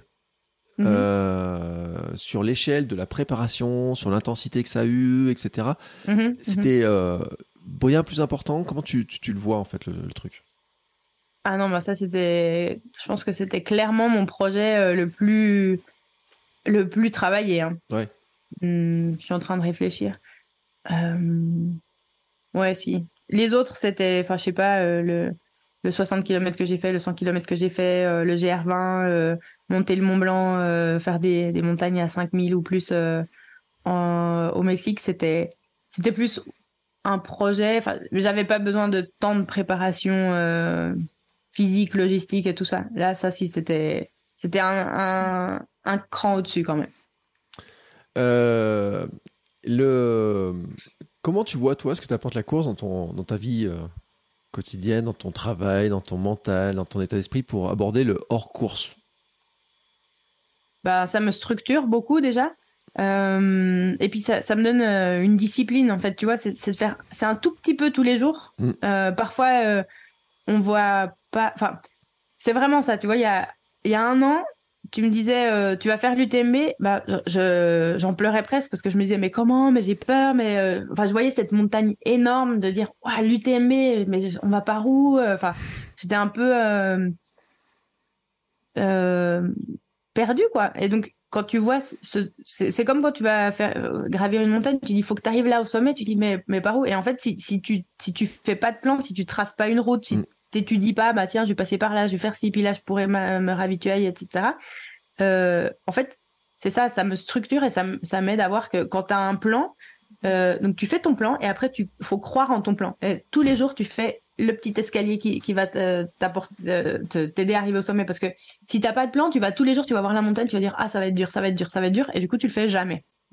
Et du coup, donc là, je reviens avec mon Aurita podcast. Le Aurita, c'est justement quand tu tu vas te mettre en action. Quand tu arrêtes de, dire, euh, ben, un jour je le ferai, mais je sais pas comment on fait. Donc, euh, dans, dans, ma vie, c'est ça, c'est structurer et dire, pour arriver là, il faut que je fasse tous ces petits trucs. Et parfois, tu vas douter, tu vas dire, mais j'ai rien fait aujourd'hui. Oui, mais t'as rien fait aujourd'hui, mais regarde ce que tu as fait hier, regarde ce que tu vas faire demain. Et, euh, euh, avoir confiance dans le, dans le process. Donc, déjà, ça, donc voilà, ça me donne une structure. Et puis après, euh, euh, bah, physiquement, de s'entraîner, bah, toi, tu, tu l'as vu, c'est l'histoire de ta vie, je pense, de de s'entraîner, je pense que ça te, ça te donne confiance en toi. tu dis ouais j'arrive à faire quelque chose comme ça, donc ça donne confiance en toi pour faire n'importe quel autre projet en fait, je pense.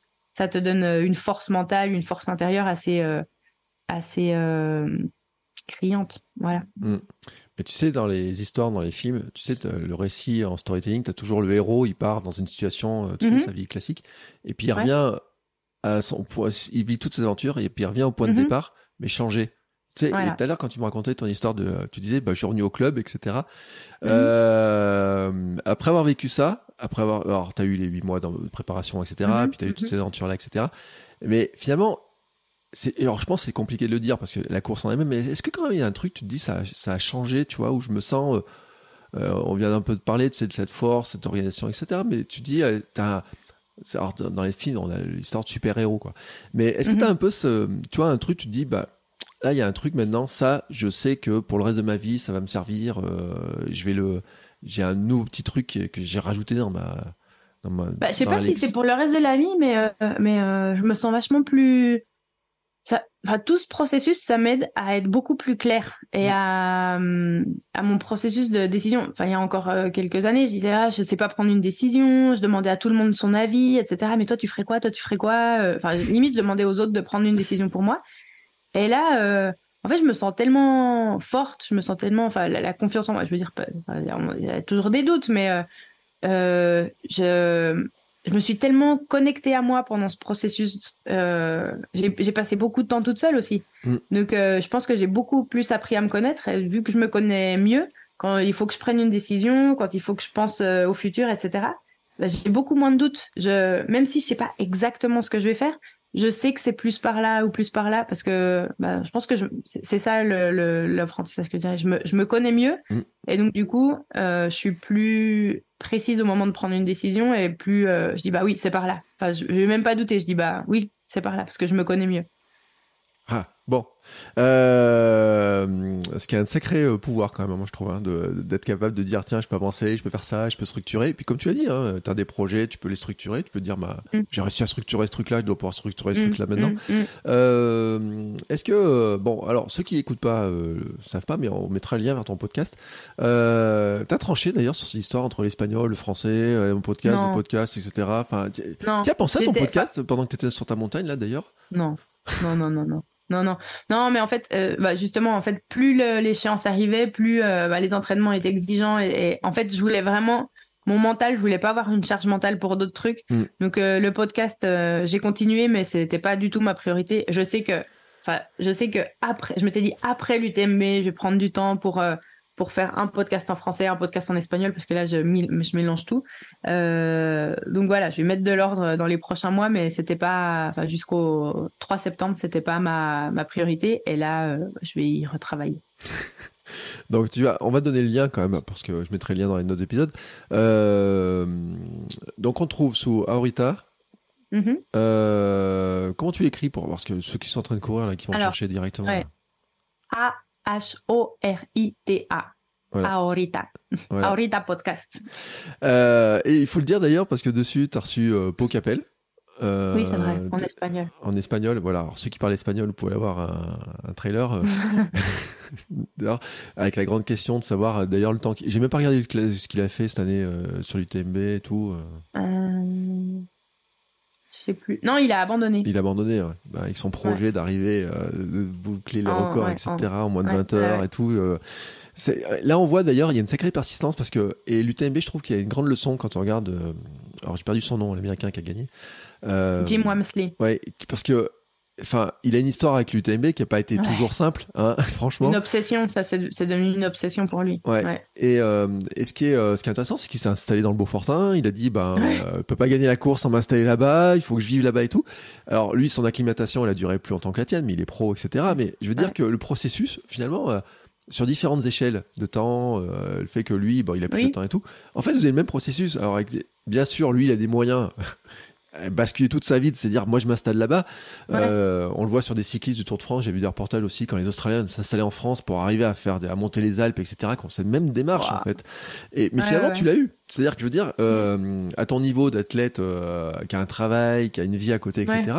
Finalement, tu as eu cette même démarche d'avoir ça et qui qui montre aussi que euh, bah, cette acclimatation, euh, ce truc-là, euh, c'est vrai qu'il y a des courses qui sont pas si faciles que ça à aborder, mais qui montrent Mm. aussi, pour lui, c'est intéressant parce que il s'est accroché hein, euh, un Mm. sacré paquet de fois avant d'avoir cette victoire et tout. Mm, mm. Euh, Il y a eu des abandons, il y a eu des mauvaises places, il y, a eu- il y a eu tout un tas de, de- de- de- défis.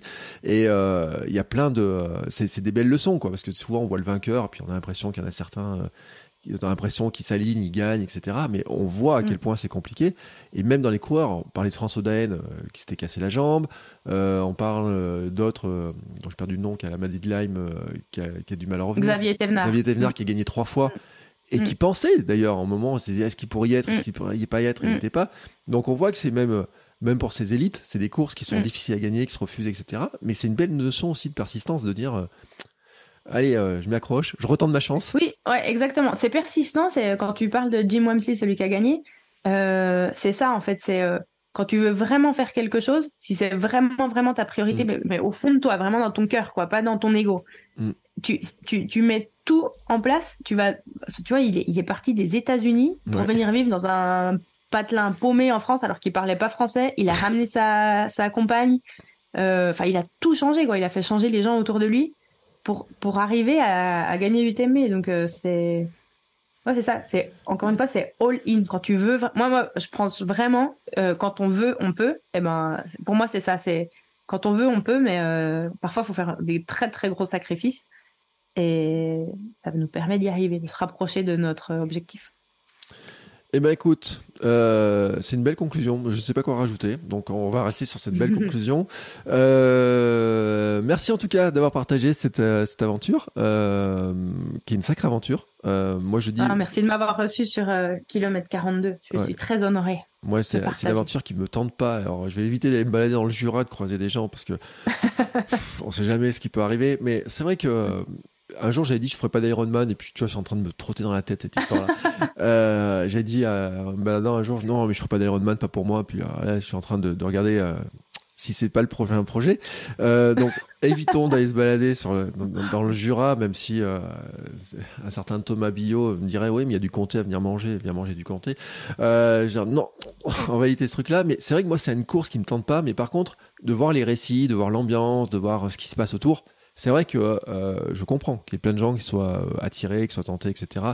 Euh, et je me rappelle que le Taz, justement, il avait dit qu'un jour il avait vu le départ et qu'il s'est dit un jour j'y serai. Et que justement, il y avait cette quête d'un jour y être, etc. Mm, mm. Euh, même si après, des fois, on peut se demander si finalement, après un tel sommet, qu'est-ce qu'il peut y avoir derrière. Mais je sais aussi que ton podcast te permet de rencontrer des gens. Je me rappelle l'épisode que tu as fait avec Perrine Fage. Je me dis, ce Mhm. jour-là, tu as allumé tellement de lumière dans la tête. Oh, Perrine, euh, qui elle est sur le, euh, le Tour des Géants en plus, ou le Tour des Glaciers Ouais. euh, cette année.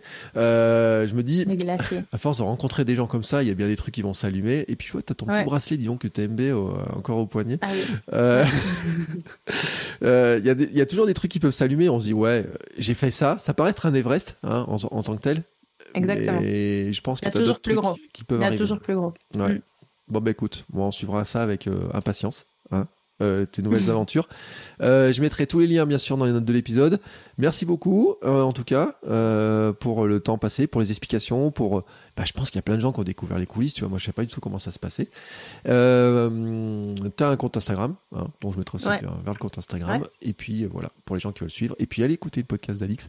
Il y a des épisodes. Et il n'y a pas que sur la course d'ailleurs. Hein. Je me rappelle l'épisode que j'avais fait sur l'hypnose. Euh, Ouais. J'ai trouvé ça Des épisodes en français sur le développement personnel. Ouais. ouais. Non, mais il y a des avec des rencontres, etc. Et puis avec des changements de vie, des parcours. hein, euh, on voit des gens qui ont fait les- des grandes écoles comme toi et tout, qui euh, bon, pff, basculent sur d'autres trucs, etc. Ouais. Super intéressant. Et euh, je pense qu'on peut faire plein d'autres parallèles. Il y a plein d'autres parallèles qui seront intéressants à faire et que ton aventure, euh, tes aventures de coureuse, te permettront aussi d'avoir de nouveaux parallèles avec tes invités. Allez. Ceci, étant dit, maintenant, moi je clôture l'histoire.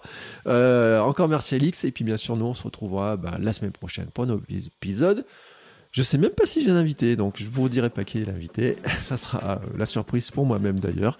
Et euh, mais j'ai une idée quand même, si si j'ai une idée parce que j'ai trouvé des, quelques personnages qui sont vraiment très intéressants. J'en dis pas plus. Allez, on se retrouve la semaine prochaine. Ciao ciao. Merci Alix. Merci Bertrand.